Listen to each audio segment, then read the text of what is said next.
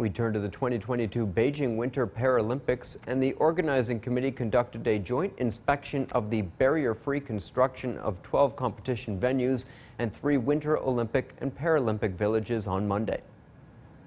Ten experts in barrier free, free fields carried out this joint inspection of the facilities.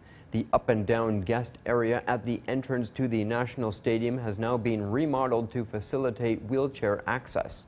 The bathroom facilities in the athletes' changing rooms and toilets are specially designed for the needs of Paralympic athletes. The athlete ramp to the ice venues is built to ensure a gentle slope for the wheelchairs. At the National Swimming Center, accessibility facilities are designed with the user's comfort in mind. Considering the low visibility of wheelchair users, the mirrors in the accessible toilets are tilted against the walls to meet their needs. At the venue, the most important thing is for athletes to arrive smoothly and know where they can and should go during the competition. The second is safety. As more people will go into the venues for the games, the safety of the athletes, audience, and VIPs is also very important.